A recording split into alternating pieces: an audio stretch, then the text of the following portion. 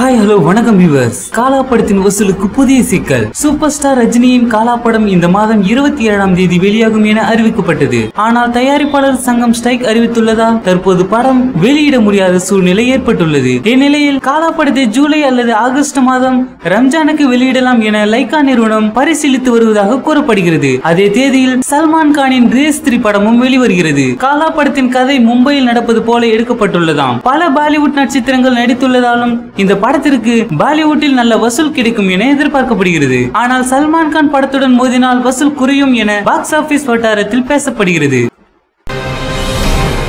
தல அஜித் படத்தை பாராட்டிய விஜய் இதுதான் தளபதி மனசு. தமிழ் சினிமாவின் வசூல் மன்னர்கள் என்றால் விஜய் அஜித் தான். இவர்கள் படங்களுக்கு வரும் வரவேற்பை நாங்கள் சொல்லி தெரிய வேண்டியது இல்லை இந்த நிலையில் தல அஜித் தளபதி விஜய் இருவருமே நல்ல நண்பர்கள் என்றாலும் அவர்களுடைய ரசிகர்களுக்குள் எப்போதும் ஒரு வகை போட்டி இருந்து கொண்டேதான் இருக்கும். ஆனால் இவர்கள் படங்கள் ஒரே நாளில் வந்தால் அவ்வளவுதான். திரையரங்குமே அதிர்ந்து விடும் கடைசியாக இவர்கள் நடிப்பில் ஒரே நாளில் வந்த படம் என்றால் வீரம் ஜில்லா தான் இந்த இரண்டு படங்களுமே ரசிகர்களிடம் நல்ல வரவேற்பை தான் பெற்றது. அப்போதும் ஜில்லா படத்தின் சக்சஸ் மீட்டில் விஜய் தல அஜித்தின் வீரம் படமும் நன்றாக இருக்கின்றது என கேள்விப்பட்டேன். அவருக்கும் என் வாழ்த்துக்கள் என்று கூறியது செம்ம ட்ரெண்ட் ஆகியது. அந்த சமயத்தில். மேலும் தல அஜித் விஜய் படங்களில் மோதல் இருந்தாலும் அதை மறந்து விஜய் இப்படி பேசியது அவரின் பெருந்தன்மைதான் என ரசிகர்கள் கொண்டாடினார்கள். இதற்காகத்தான் முடியை வெட்டினாரா சமந்தா? தமிழ் மற்றும் தெலுங்கில் முன்னணி ஹீரோயினாக உள்ள நடிகை சமந்தா தன் திருமணத்திற்கு பிறகு வித்தியாசமான படங்களை தேர்ந்தெடுத்து நடித்து வருகிறார். ரங்கஸ்தலம் படத்தில் அவர் கிராமத்து பெண் வேடத்தில் நடித்திருந்து ரசிகர்களை அதிகம் கவர்ந்தது. இந்நிலையில் சமந்தா தன் முடியின் அளவை குறைத்து புதிய கெட்டப்புக்கு மாறியுள்ளார். இது அவர் அடுத்த நடிக்க உள்ள யூட்டான் என்ற கன்னட படத்தின் தமிழ் மற்றும் தெலுங்கு ரீமேக்கிற்காகத்தான். இந்த புதிய கெட்டப்போடு சமந்தா ரங்கஸ்தலம் சக்சஸ் மீட்டில் பங்கேற்றது ரசிகர்களை வெகுவாக கவர்ந்து விட்டது.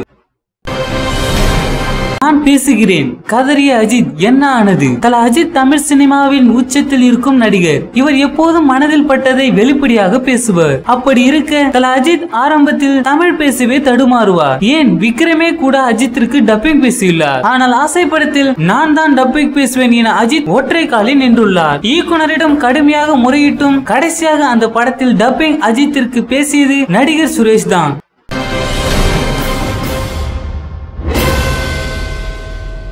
தளபதி விஜய்க்கு மிகவும் பிடித்த தளப்படம் இதுதானா? தளபதி தல தமிழ் சினிமாவில் தவிர்க்க முடியாத நடிகர்கள். இவர்கள் படங்களால் பல திரையரங்குகள் கல்லா கட்டியுள்ளனர். இந்த நிலையில் இவர்களுக்குள் தொழில் ரீதியாக போட்டி இருந்தாலும் நிஜத்தில் நல்ல நண்பர்கள். விஜய் அஜித் படத்தை விரும்பி பார்ப்பாராம். இதில் அவருக்கு மிகவும் பிடித்த அஜித் படம் என்றால் வாலிதானாம். சமீபத்திய படங்களில் மங்காத்தா வீரம் தான் பேவரட்டாம் என தளபதி விஜய் கூறியுள்ளார். தல அஜித்தின் நம்பிக்கை தளபதி விஜயின் நல்ல மனசு. இதை பற்றி உங்களுடைய கருத்துக்களை கீழே இருக்கும் கமெண்ட் பாக்ஸ்ல கமெண்ட் பண்ணுங்க. இந்த வீடியோ பிடிச்சிருந்தா லைக் பண்ணுங்க ஷேர் பண்ணுங்க. மறக்காம நம்ம சேனலை சப்ஸ்கிரைப் பண்ணுங்க.